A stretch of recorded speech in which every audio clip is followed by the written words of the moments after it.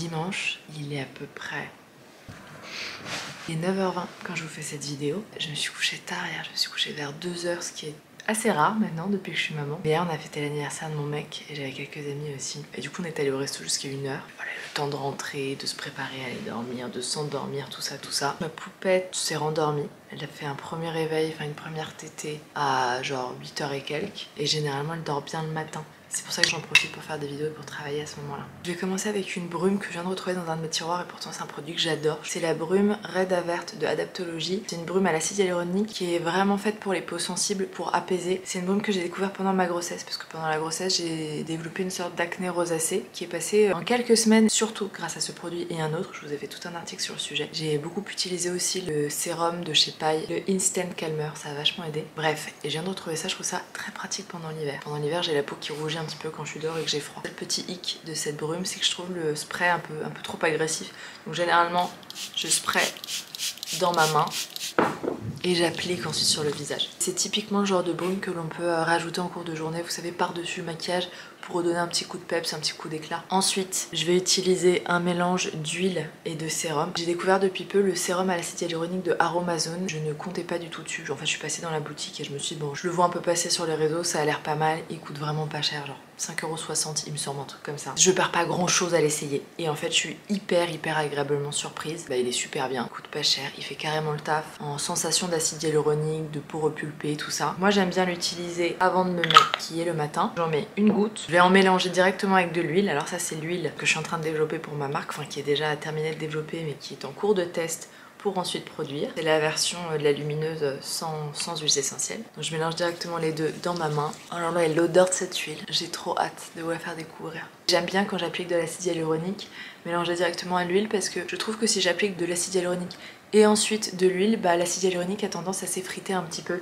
Alors que quand je mélange directement euh, avec de l'huile, bah, j'ai pas du tout cet effet là. Le seul truc quand j'applique ce type de sérum, c'est que j'arrive moins bien à masser le visage après parce que je trouve que voilà, si on manipule vachement la peau, on sent qu'il y a une petite matière qui s'effrite. C'est le seul petit hic que je trouve. Je vais appliquer une crème, ce qui ne m'arrive jamais. Pour être honnête, normalement ce type de combo me suffit largement. Là il fait froid, il fait moins 2 degrés aujourd'hui, donc c'est toujours cool de terminer par une crème hydratante quand on a une peau normale, sèche, mature. En fait c'est surtout aussi que comme j'ai eu euh, le calendrier de l'avant mon corner B et qu'il y avait une crème dedans. J'ai voulu l'essayer et elle est très cool. C'est une crème de chez Evolve. J'en prends un peu et j'applique sur le visage. Elle sent vraiment le bonbon. On est en train de réfléchir justement avec l'équipe pour développer une crème. Parce que moi, vous le savez, je suis vraiment une fan d'huile. J'adore utiliser l'huile. Moi, ça me suffit pour mon type de peau. Mais c'est vrai que quand on a une peau sèche ou mature, ou tout simplement quand on n'adore pas les huiles, je me rends compte c'est vrai que les crèmes peuvent être une super alternative ou un super ajout en fait. Parfois, l'huile ne suffit pas et d'utiliser une crème par-dessus permet de faire comme une sorte de bouclier. C'est en cours de réflexion. Je suis pas encore sûre et n'hésitez pas à me dire justement si vous pensez que ça serait intéressant. Et donc, comme le reste de la marque, ça serait vraiment une crème une crème qui soit minimaliste, qui convienne à tout le monde, qui soit dans un joli packaging en verre. Et c'est vrai que ça viendrait compléter la gamme en fait parce que, en parlant de ça, je vais appliquer un petit peu de baume à lèvres. Je vais utiliser l'enchanteur. Parce que j'ai l'huile visage, j'ai le soin pour les cheveux, l'huile démaquillante, le baume à tout faire. C'est vrai qu'une crème pourrait vachement compléter. Et je vous dis ça pas du tout à des fins marketing, histoire de sortir un nouveau produit, donc de vendre plus, etc. C'est vraiment en fonction des demandes et des retours que j'ai en fait. C'est comme ça que je crée les produits. Le reste de ce que j'ai mis sur les lèvres, je le garde. Parfois j'ai une toute petite zone sèche au niveau de la paupière, vous voyez, et je le mets. J'aime bien mettre un peu dans les sourcils aussi, surtout le soir. Oui, au début, quand j'ai créé cette marque, en fait, j'étais prête à ne faire qu'un seul produit, un produit qui conviendra à tout le monde pour toutes les utilisations, pour tous les types de peau. Et en fait, ça a tellement bien fonctionné, c'est un produit qui a tellement bien marché que j'ai eu beaucoup d'autres demandes, beaucoup de « Ah, oh, mais j'adorais que tu crées ce type de produit ». Et en fait, j'ai réussi jusqu'à maintenant à mélanger les attentes, les demandes, donc les besoins, avec ce que moi j'aime développer et avec ce que moi j'aime utiliser et avec ce qui, selon moi en tout cas, manque sur le marché. Donc c'est vrai que la crème, c'est pas forcément quelque chose que j'avais en tête, mais c'est quelque chose qu'on me demande beaucoup. Donc comme je vous dis, en cours de réflexion.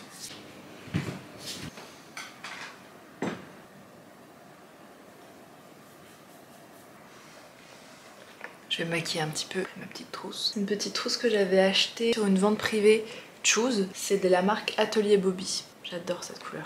Je vais commencer par le correcteur. Je vais pas mettre de fond de teint. Pourrais, ça m'arrive. J'aime bien euh, remettre le, le, Madara en ce moment que j'aime beaucoup. Mais là je vais faire mon teint qu'avec des correcteurs. Je vais mélanger la caramel et la roue doudou cette fois. Ou caramel nougat ça m'arrive. Ce que je fais c'est que je prends avec un doigt caramel, l'autre doigt roue doudou. Vous voyez j'ai mes deux couleurs différentes.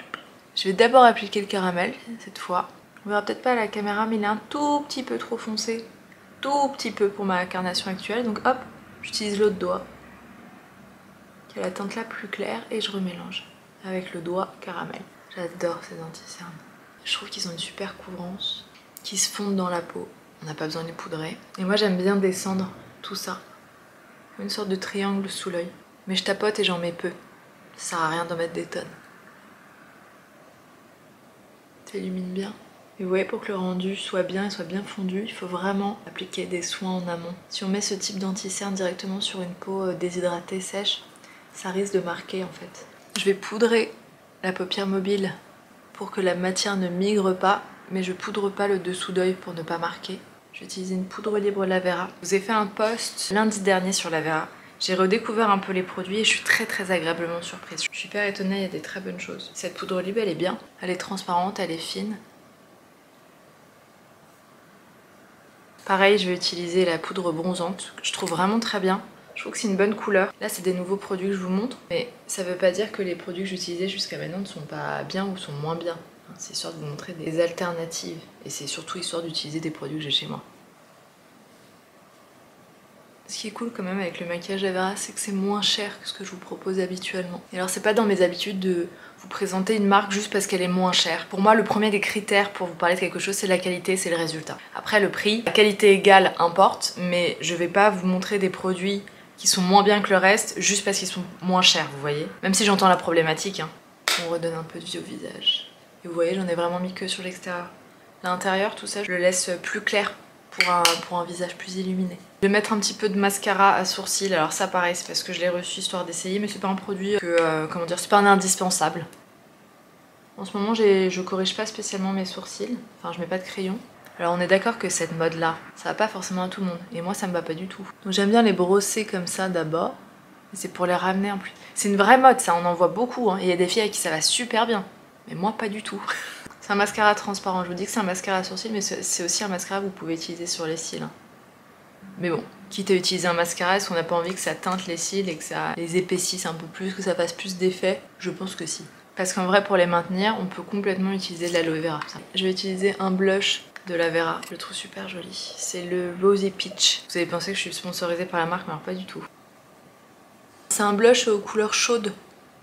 Ça empêche quoi. Il y en a un autre rose qui est un peu glowy, qui est très joli. Celui-là c'est plus... Euh, c'est une couleur plus chaude, j'aime bien. Je trouve que c'est ce qui me va le mieux moi. J'ai du mal avec les couleurs froides, les couleurs rosées sur ma peau. C'est pas que ça me va pas, c'est que c'est pas mon style en fait. Je me reconnais pas quand je me vois avec un, rouge, avec un rouge à lèvres rose, avec un blush très rose. Je sais que ça fait plus frais, ça fait ressortir aussi un petit peu euh, mes yeux, mais c'est pas mon style, c'est pas, pas ma patte. Ça, ça a été la plus grande révélation de la marque. C'est le mascara Lavera Lash to Impress. Je suis hyper étonnée. Normalement, c'est pas mon style de brosse. En plus, c'est une grosse, grosse brosse comme ça. Alors, je préfère les, les, brosses petites et en silicone. Et je pensais pas qu'il allait tenir. Vraiment, quand je l'ai essayé, je me suis dit, bon, on va tester histoire d'eux. Mais il tient trop bien. Il fait des cils de dingue. Et pour le coup, il est vraiment euh, pas cher pour un mascara naturel bio, quoi. Il est à, il a 12 euros et quelques. Moi, j'adore le Ilia et je pense que le Ilia reste mon préféré. Hein. Mais là, au moins, c'est une, très très bonne alternative. Et il faut pas en mettre des tonnes, hein, parce qu'il fait tout de suite un effet euh, assez... Euh, assez impressionnant. Et il tient hyper bien tout au long de la journée et même pendant le sport. J'ai repris le sport il y a un peu plus d'un mois et demi, je dirais. Et c'est des séances extrêmement intenses. Le mascara ne coule pas du tout, tient en place, quand j'en mets. Parce que je me maquille pas forcément avant d'aller faire du sport, j'avoue. Je fais de l'électrostimulation. Pas très connu, je trouve qu'on n'entend pas parler plus que ça. En gros, c'est les électrodes. Le truc qu'on voit au téléachat.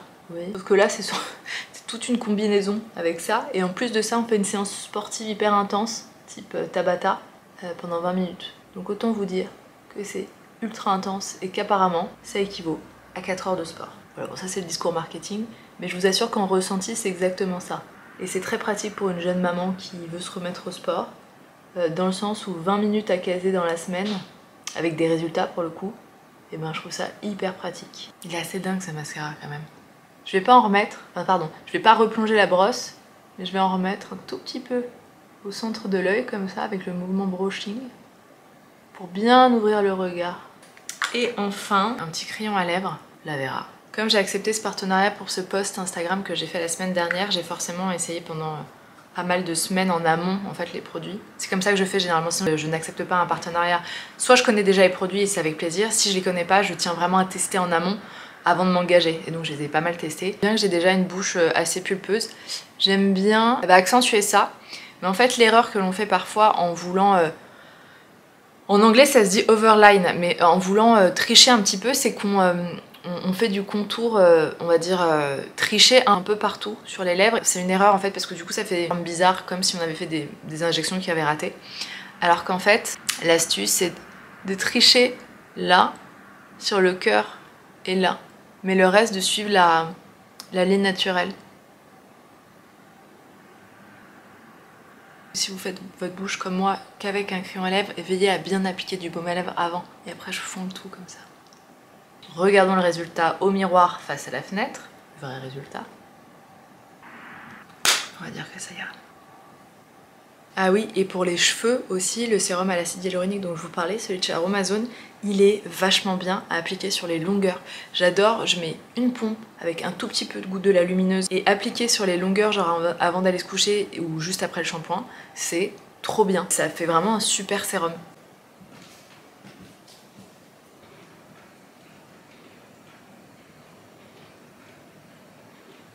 Une de mes amies qui m'a offert ça hier. Elle a ramené ça d'Amsterdam. Alors c'est quelque chose qu'on peut aussi trouver en France. Hein. Il y a plein de marques qui font ça, mais je trouve ça super cool en fait. Un jeu de cartes avec plein d'asanas, avec plein de postures de yoga différentes. Et je trouve ça cool parfois, plutôt que de suivre une vidéo ou des enchaînements tout faits, peut-être de se dire je fais une salutation au soleil ou bien euh, je vais faire différents enchaînements euh, en tirant des cartes au hasard.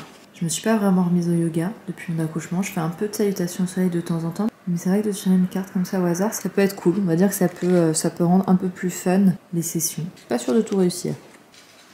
Il est 11h15 et ma fille dort encore. Je me suis doucement glissée dans la chambre pour aller me chercher quand même des affaires et m'habiller. Je vais mettre un soutien-gorge Minastorm que j'avais pris pour l'allaitement. C'est pas du tout un soutif d'allaitement, mais je le trouve hyper pratique pour ça. Bien que les brassières conviennent aussi complètement. Je vais mettre un pull blanc cassé que j'adore. C'est de la marque Princesse Tam Tam. Je l'ai acheté il y a des années et il tient bien. Si vous en trouvez en seconde main, c'est encore mieux. Un vieux jean de chez Zara qui est assez loose, qui est très confortable. Je vais mettre une ceinture que j'ai chopée dans une fripe il y a quelques jours. J'aime bien la couleur. Je me souviens maintenant pourquoi je le mettais moins. Je pense que j'avais mis du chocolat chaud partout.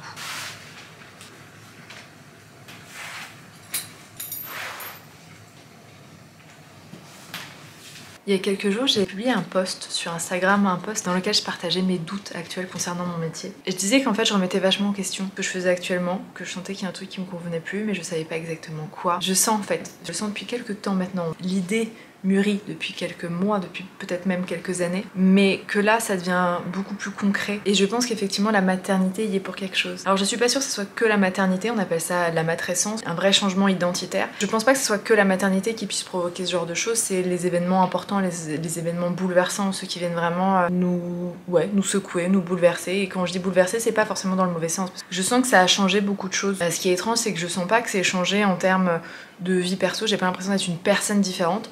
Par contre, je sens qu'au niveau professionnel, il y a un truc qui doit changer. C'est comme si ça n'avait plus vraiment de sens, ça ne me convient plus. En fait, je mettais ça sous le compte des partenariats, mais c'est pas que les partenariats ne me conviennent plus. C'est qu'en fait, je pense que le métier d'influenceuse, de créatrice de contenu ne reflète finalement pas du tout ce que je fais et qui je suis. Ça fait euh, des années que je continue de, me dire et de vouloir en fait être avant tout une créatrice de contenu et ensuite avoir une marque et avoir des produits. Mais en fait, à un moment, il faut voir la réalité des choses. Et en fait, je suis une influenceuse qui est devenue une créatrice de marque, donc une entrepreneur, et qui a aussi développé des produits digitaux donc de nouveau une entrepreneur du web, et qui continue de créer du contenu gratuitement. À mon avis, mes priorités doivent changer. Ma mission, entre guillemets, restera la même, et encore le mot mission, je, enfin, j'aime pas du tout ce terme-là, parce que c'est un truc un peu ésotérique, le truc de ma mission de vie, ma mission.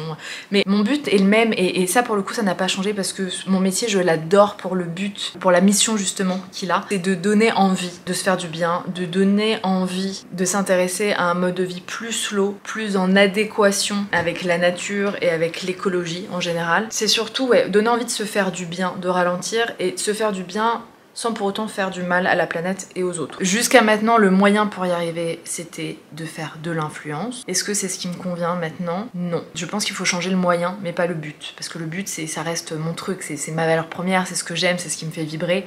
Mais il faut que je trouve une autre façon de le faire. Donc comment donner envie? Comment continuer à partager autour de ces valeurs-là en ne faisant plus exactement ce que je faisais jusqu'à maintenant? C'est toute la question. Là, je vous partage ça vraiment comme un carnet de bord. J'ai pas du tout, du tout la solution maintenant. Je suis pas sûre que je la trouverai de suite. Je sais même pas si ça se trouve. En fait, je sais pas si ça se cherche. Je pense qu'à un moment, ça vient un peu à nous comme une évidence. Je vais me prendre un mois off en janvier. Enfin, un mois off. Je vous dis ça à chaque fois. C'est pas vraiment du off, mais c'est un mois où je ne publie pas, où je fais du travail de plus de stratégie, de remise en question. Et, le fait de pas poster en tout cas sur, euh, sur YouTube et sur le blog, ça me permet de pas avoir de contraintes horaires et donc de stress, on va dire, de deadline et de pouvoir me concentrer sur autre chose. Et donc je vais prendre ce mois de janvier pour ça, pour voir un peu, ouais, un peu quoi faire. En fait, j'aimerais faire évoluer le blog aussi. Je vous dis depuis quelques temps que, euh, que je veux m'y remettre, que je veux écrire. En fait, je me demande si ça serait pas intéressant de transformer le blog en média, c'est-à-dire comme un site et plus comme un blog.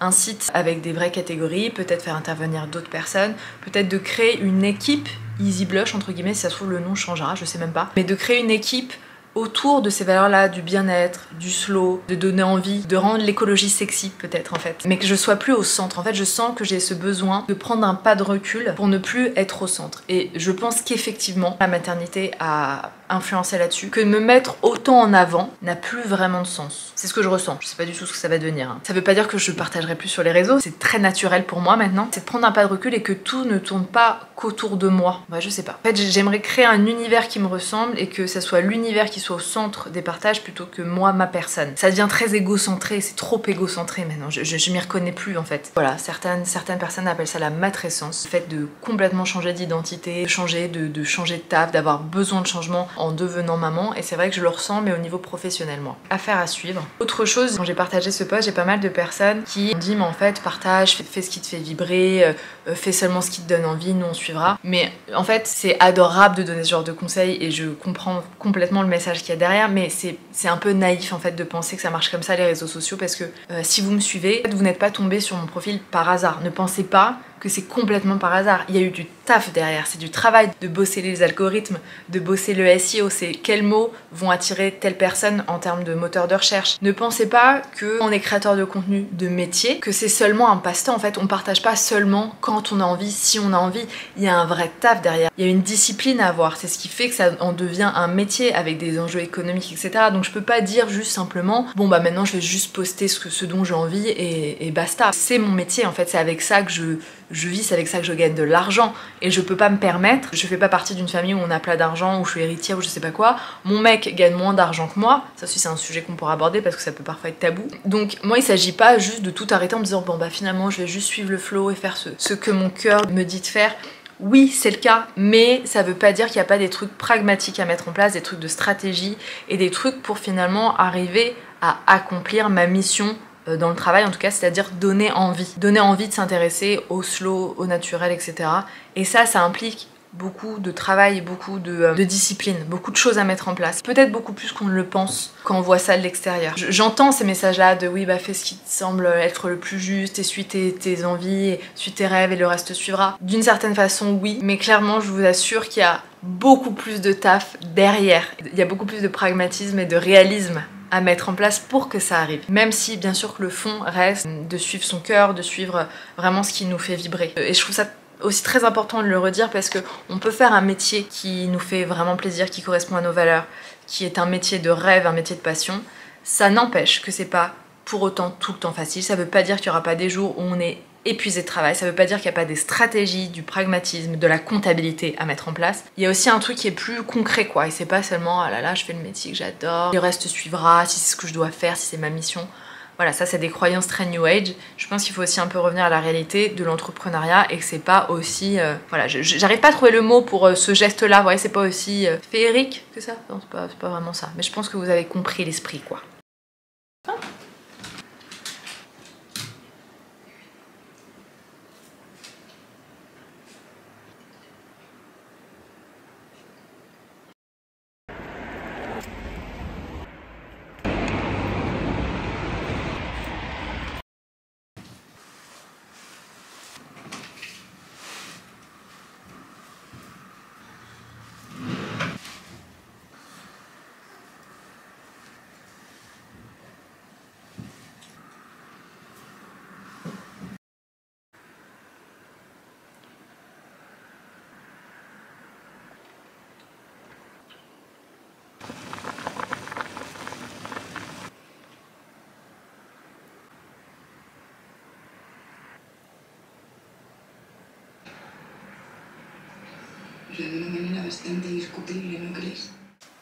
Alors j'ai ma fille qui joue sur son tapis. On a remplacé d'ailleurs la housse mes amis par une autre. Une housse avec différentes textures, différents motifs.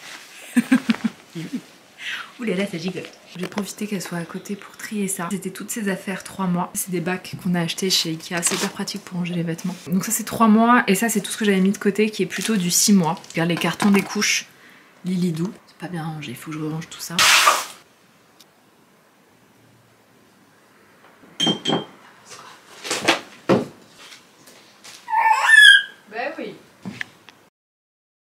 J'ai une question débat pour vous. C'est une réflexion que je me suis faite il y a quelques semaines. Il me semble d'ailleurs que j'avais mis un sondage sur Instagram. Est-ce que selon vous, la chance existe? Avant de commencer ce débat, avant de commencer cette réflexion, je pense qu'il faudrait définir précisément le terme chance. Si vous avez vu un de mes derniers vlogs qui s'appelle, je ne sais plus comment il s'appelle mais je vais vous mettre l'image, vous parlais justement de la notion de concept et à quel point en fait un mot ne représentait pas la réalité et que un mot représentait parfois des choses complètement différentes dans l'esprit de différentes personnes. Donc avant de commencer ce débat, je pense que ça serait intéressant de définir le terme chance, quand on dit que quelqu'un a de la chance, possibilité, probabilité que quelque chose, surtout un événement heureux, se produise. Ou sort favorable. Faveur du sort, issue heureuse de quelque chose, situation favorable de quelqu'un. Si on prend ce sens-là, faveur du sort, issue heureuse de quelque chose, situation favorable de quelqu'un, bien évidemment que la chance existe. Parce que oui, il y a des situations favorables, des événements heureux. Donc dans ce sens-là, oui. Et généralement, quand on dit ah, t'as de la chance d'avoir ça, t'as de la chance d'avoir rencontré ta personne, t'as de la chance d'avoir cette maison, c'est dans ce sens-là qu'on l'utilise. Euh, mais il y a une idée sous-jacente à ça qui est la notion de hasard en fait. Parfois on dit ah, elle a de la chance comme s'il n'y avait pas eu de processus pour en arriver là, comme s'il n'y avait pas eu une stratégie ou bien des,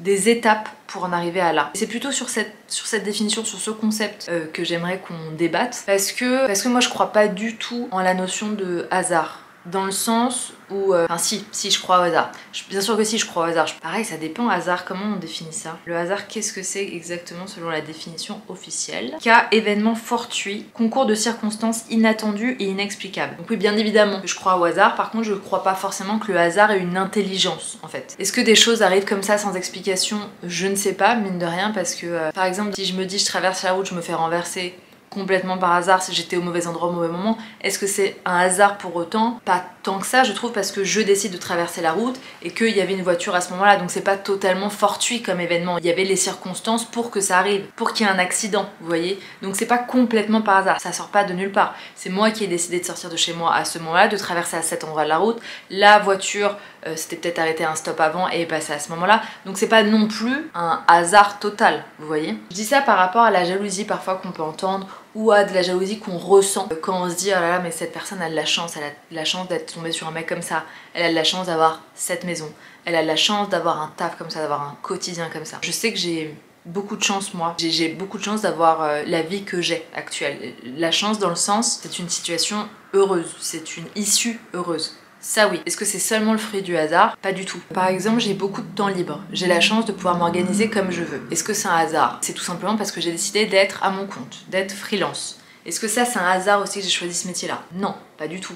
Comment dire, c'était un choix en connaissant les avantages et les inconvénients, parce qu'il y a aussi des inconvénients. Est-ce que c'est un hasard que j'ai des prédispositions à être freelance? Non plus. Mon père était en profession libérale, était kinésithérapeute et recevait chez lui, donc ma mère pour le coup était salariée chez Air France en tant qu'hôtesse de l'air, mais avait un quotidien complètement hors norme, avait des horaires décalés, donc est-ce que c'est complètement un hasard que j'en suis arrivée à être freelance? On peut pas dire ça non plus, je pense qu'il y a une prédisposition et que j'ai grandi avec ces idées-là. Pour les personnes qui, comme moi, ont énormément galéré à trouver quelqu'un de bien pour une relation amoureuse. Pour les personnes qui ne connaissent pas forcément mon histoire, euh, je suis de nouveau avec un de mes premiers amours.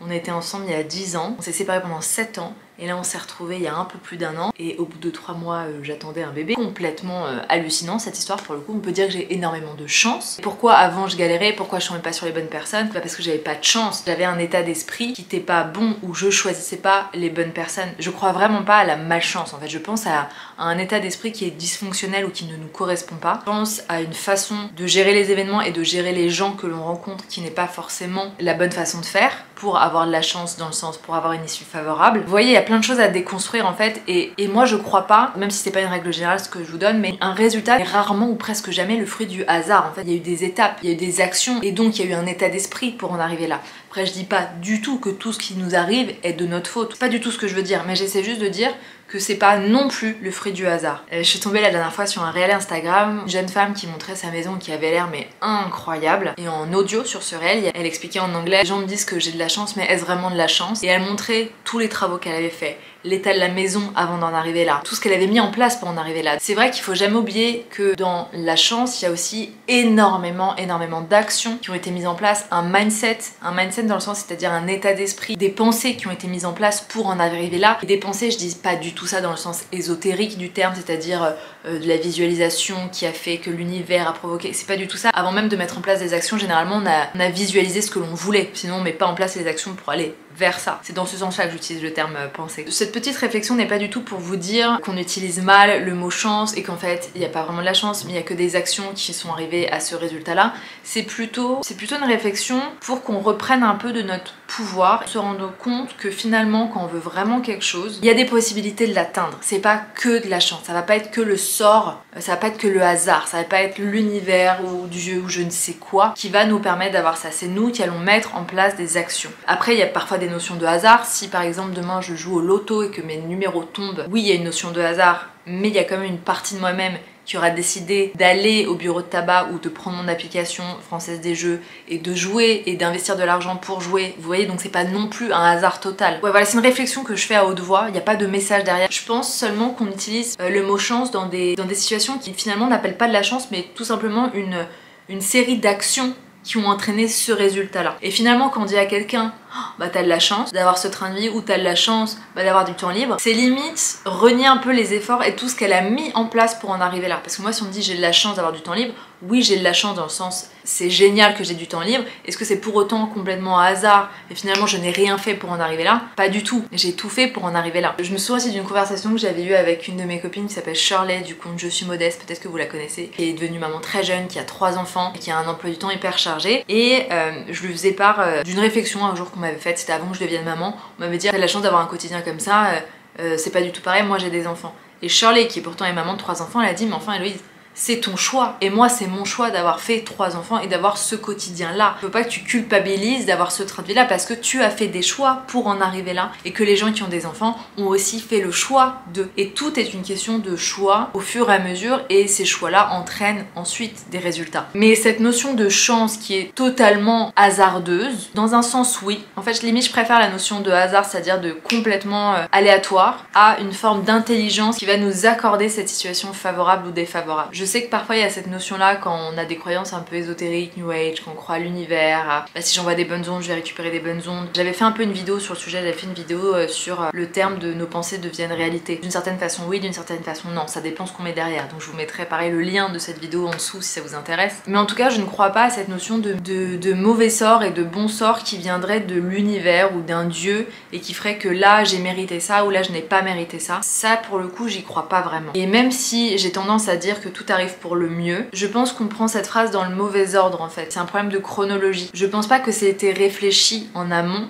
que ce truc là arrive pour que quelque chose de mieux arrive après. Je pense qu'une chose nous arrive, c'est comme ça, mais qu'on a possibilité ensuite avec notre esprit humain, avec nos actions, de finalement en faire quelque chose de positif. Ça oui, mais que quelqu'un là-haut, qu'une énergie ait dit bah là Héloïse ne mérite pas ça ou mérite ça, que c'est pour le mieux pour elle parce que plus tard il va se passer ça, ça, ça, j'y crois pas tant que ça. Sinon en fait finalement toutes les vies humaines seraient heureuses, ce qui n'est pas le cas. Et, je dis ça en fait en, connaissance de cause parce que j'ai vraiment euh, côtoyé ce milieu-là. Je sais que ça peut euh, vachement venir chercher ce que je dis parce que ça vient chercher des croyances. C'est comme si je me retrouvais face à quelqu'un de croyant dans une religion, quelqu'un de très religieux et que je lui démontais ses croyances en prouvant par A plus B que non, c'est pas possible que Dieu existe. Je trouverais pas ça correct. Donc ce que je fais un peu avec les croyances ésotériques New Age, je trouve pas ça forcément très correct non plus finalement, parce que euh, croit qui veut en fait finalement si ça fait du bien. Mais ce que j'aimerais éviter c'est que ces croyances euh, puissent se retourner contre vous. C'est ça en fait, parce qu'il y a parfois des croyances qui font du bien et des croyances qui à un moment nous font plus de mal qu'autre chose. Voilà, c'est parti totalement en cacahuète, mon discours sur la chance. Fin, fin de journée, je me retrouve dans ma salle de bain cette fois. Je vais appliquer la rêveuse, une pompe.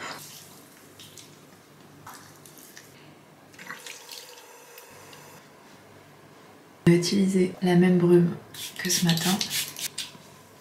un autre sérum de chez Aromazone, cette fois c'est de l'acide glycolique. Apparemment c'est un sérum peeling qui élimine les cellules mortes, atténue les taches et imperfections, lisse les irrégularités, lutte contre les points noirs et laisse le teint éclatant. De l'huile toujours, brosser les dents.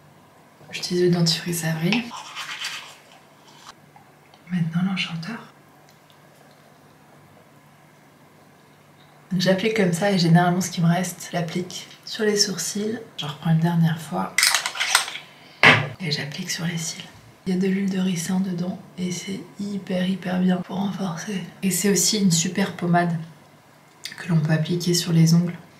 Je ne démêle pas forcément tout le temps mes cheveux, mais là, avec le vent, le froid, appliquer de l'acide hyaluronique, le même que j'ai utilisé ce matin. Quelques gouttes d'huile. Bon, et là j'ai pas d'élastique donc je vais pas les tresser. Je vais les rattacher en chignon haut